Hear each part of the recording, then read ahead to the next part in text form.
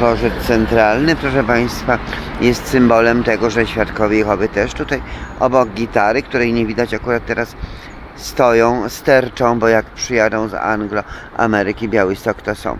No, świadkowie Jehowy tylko w Ameryce zawsze mieli najlepiej. Chociaż tam też Rada Kościołów się przyczepiła, że świadkowie Jehowy zniknęli z powierzchni ziemi.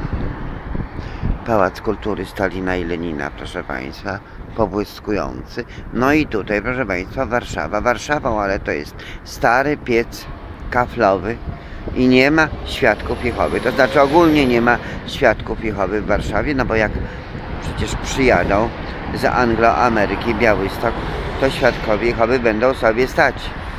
A tak, to jest system rzymski, rzymsko-łaciński, jest, jest rechodóbstwo, co jeszcze jest, no to co Państwo widzą, co może być, co można sobie też wyobrazić, można nie widzieć, można nie wiedzieć, ale można sobie wyobrazić, jaki to ten system rzymski, rechodóbski, tupeciarski, krzykliwy, kaszlący, a wrzaskliwy jest, prawda?